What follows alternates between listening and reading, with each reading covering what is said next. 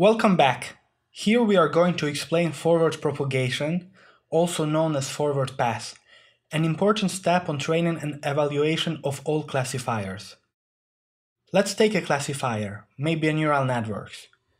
No worries if you don't know what it is, I promise that you are going to soon learn about it and the principle is general for most classifiers. The first step is to evaluate what classifier is doing given your data.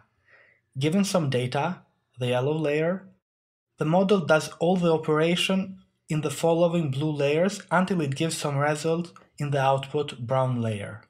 This step is called the forward step. We are going to start with a simple example.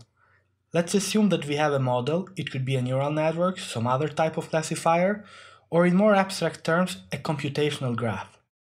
Intuitively, a computational graph is a network of nodes that represent numbers, scalars, or tensors, and are connected via edges that represent functions of operations. For simplicity and visualizations, instead of using large multidimensional tensors, we are going to use scalars.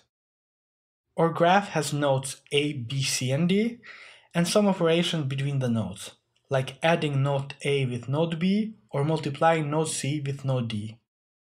Our job is to do all the operations until we get the result g. First, we add a and b, getting 2 plus minus 4 equals to minus 2, putting the result in node e.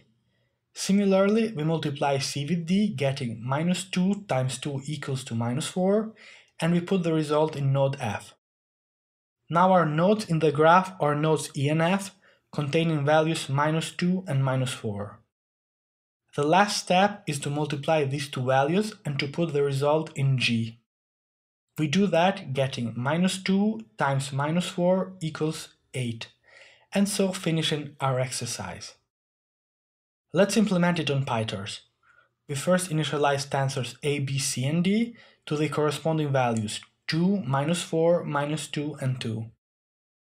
We then add a and b to tensor e and we multiply c with d, putting the result in tensor f.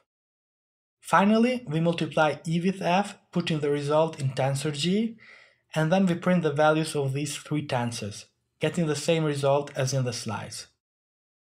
Now, there is hardly anything fancy in this exercise. However, understanding it is of utter importance. Neural networks and most of the other classifiers can be understood as computational graphs. In fact, your code gets converted to a computational graph. Just that the graphs will be much larger and the tensors within them will contain millions of entries.